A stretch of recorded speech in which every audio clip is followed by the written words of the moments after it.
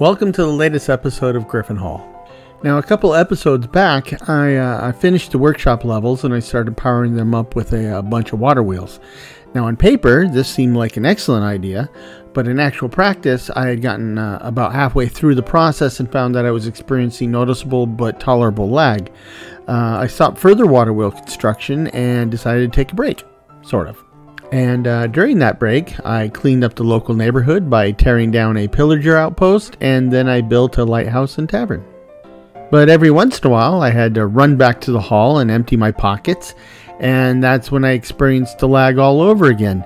And uh, it, it bugged me. I mean, it really bugged me. It still bugs the hell out of me, so I need to fix this. The first step in tackling a problem like this is to figure out just what the problem actually is or at least rule out what it isn't. Uh, the best way to start that process is to quantify the problem.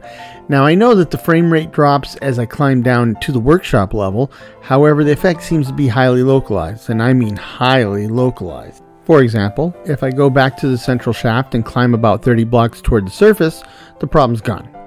Likewise, if I remain on the workshop level and then head toward the furthest corner from the existing banks of water wheels, the problem seems to be almost completely gone. However, if I then turn around and face the area where the water wheels are, I immediately start to have problems. The closer I get to the water wheels, the worse those problems get. Now, those are some important data points. Uh, so, the problem is definitely a matter of location, and the water wheels are the source. Now, since the problem goes away when I'm away from them and not looking at them, the lag's not from their operation or the sounds they generate because that would not be affected by whether or not I'm looking directly at them. Therefore, the problem is almost certainly a graphics issue, and for that, the place to start looking is at the shader level. So as a quick experiment, I turned the shader off, and the problem was gone. Period. Bingo. A long time ago, in a galaxy far, far away, I used to work tech support, and after having somebody restart their application or system, the next step was to make sure that the latest and greatest software versions were installed. So I fell back to the age old and time proven method and grabbed the latest versions of Rubidium, Oculus, and the BSL shaders. And after installing them and rebooting the machine, I could not get Minecraft to boot at all. At all. I was crashing out loading Rubidium and Oculus. So I reinstalled the same older versions of each of these mods, and while the game was bootable again, uh, the lag that had been tolerable before had degraded into a slideshow. Now I went into the BSL shader settings and set the profile to low. No difference. Uh, I then started turning off features one by one, and by the time I was able to get back to some level of tolerable lag, uh, I couldn't tell the uh, visual difference between running with or without the shader. Now, I know that the Create Mod development team has uh, released a new update, and I checked, and yes, there was a 0.5.1 version for Minecraft 1.19.2. Uh, so I grabbed it in the hopes that the new water wheels would help. Now, uh, I booted up Minecraft, but the Create upgrade did not seem to make a difference. Uh, but since I had already broken my own mod upgrade rule several times over by this time, uh, I figured that if I was in for a penny, I was in for a pound, so I upgraded all of my add ons. And yes, I know that this will probably wreak havoc uh, on the landscape again, but at the moment, I've already explored a sizable region around the hall, and uh, the chances are pretty good that I will never really need to go beyond what I've already discovered. And if I do, I'll have more terraforming challenges. Uh, but that's okay. I mean, I already have a queue for those. Uh, while I was at it, I took the opportunity to shed some mods, such as uh, the moving elevators mod. Now, I had originally chosen it uh, instead of trying to use the create mod because the moving elevators mod had a lot more functionality. Uh, with the downside being that it required a phenomenal amount of iron, uh, especially for the complex design that I built into my plan. However, the new release of Create has significantly improved elevator support, so I will go that route instead. I also found that there were new versions of Valkyrien Skies and Eureka uh, for Minecraft 1.19.2, and it looks like Clockwork is on the way as well. So uh, I snatched them up too. Now I'll keep these Craft machines, at least for now. Uh, I still plan to create a deep dive video on that mod, and my current airship is still very useful. Uh, ultimately, it looks like I have two choices for clearing up my performance problem. Either I can play without my shader or I can physically separate the banks of water wheels to help reduce their impact. Uh, I have a weakness for the visuals, so I will stick with the shaders or else I will almost certainly lose interest. So if we look at the uh, current workshop design, the banks of water wheels are clustered around the central shaft running through the workshop.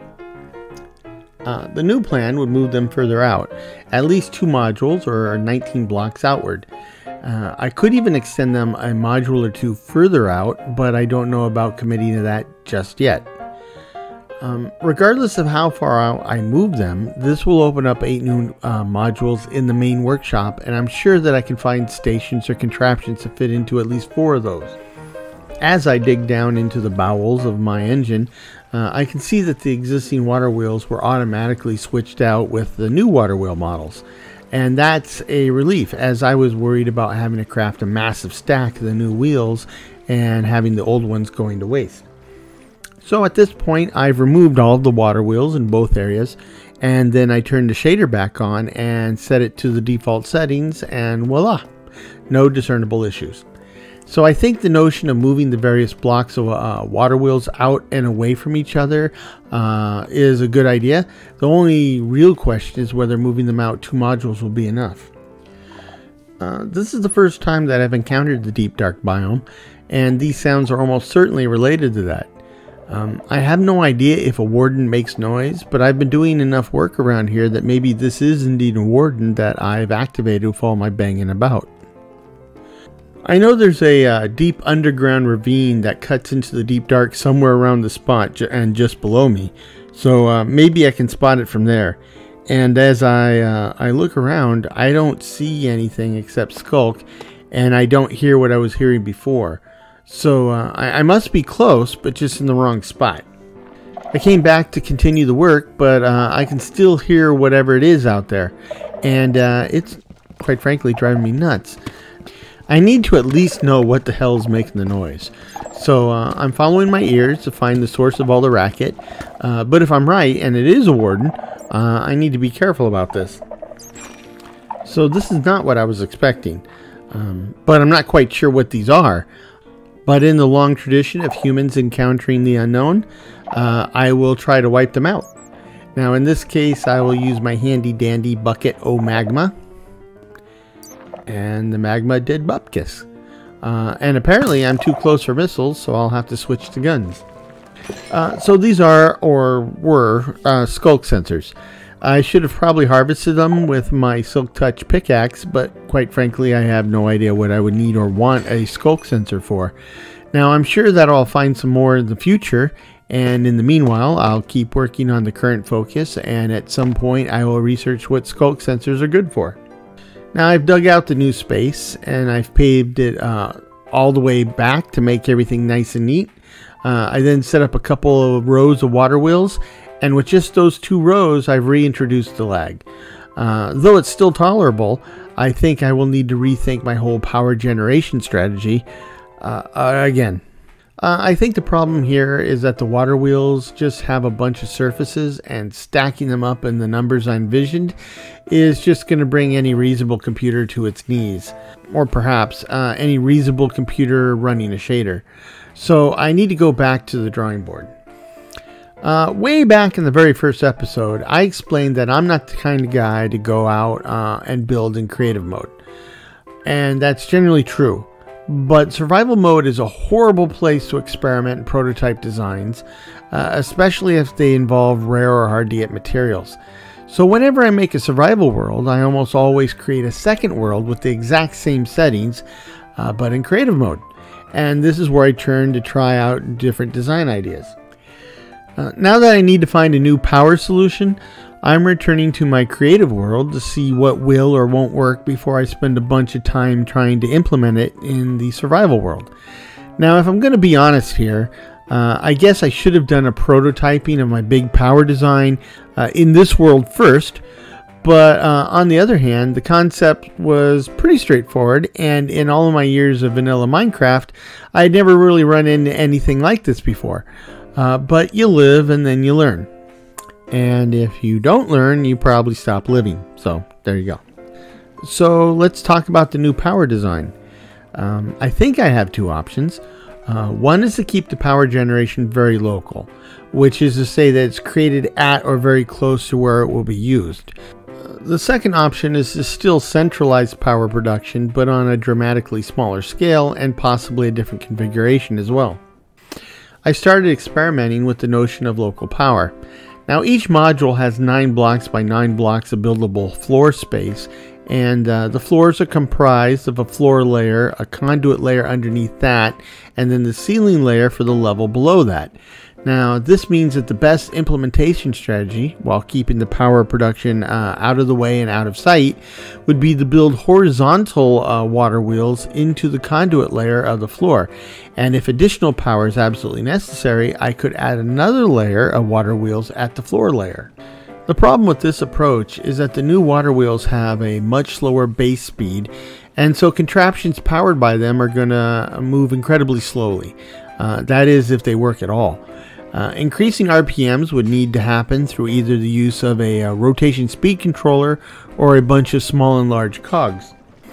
The uh, rotation speed controller would be absolutely perfect, except that it is expensive to make, and I would have to stand up a, a moderate amount of automation just to put one together.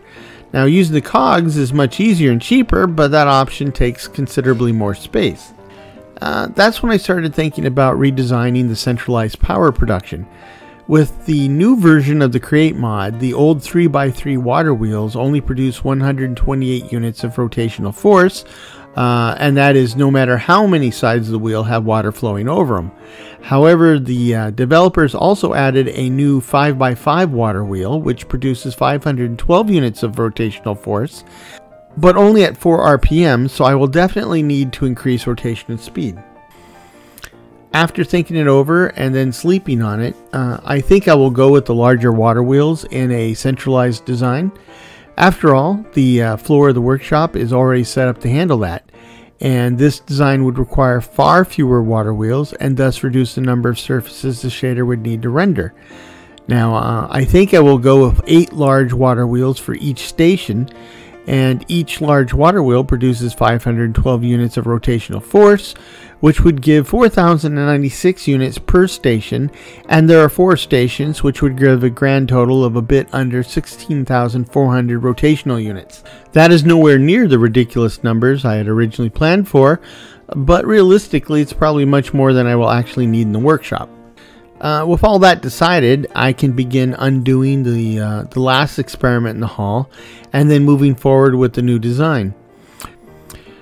Um, however, I am now thinking of doing something other than hiding them behind some walls.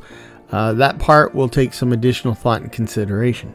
And after a lot of trial and error, or more accurately, trial and critique, uh, I have a new design.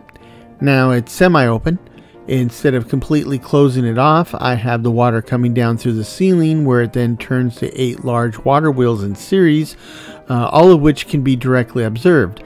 The power is then sent through a series of cogs that increases the RPMs to something that should work for all devices, but not make each device prohibitively expensive to operate. However, the most important thing to note is that what you see here is one quarter of the planned power production and now that it's up and running, there's been no discernible uh, loss of frame rate. Now, I'm hopeful that the fully implemented design will still result in little to no loss of frame rate, but there's only one way to know for sure. And after several hours of work, all four sets of water wheels are spinning and generating over 16,000 units of rotational power. Now, yes, there is a noticeable loss in frame rate, but it seems to be quite tolerable at the moment. Now, my main worry at this point is that the building uh, of contraptions and processing stations may push the lag from the tolerable zone into the slideshow zone. However, I'll have to keep an eye on that and handle it if and when the time comes.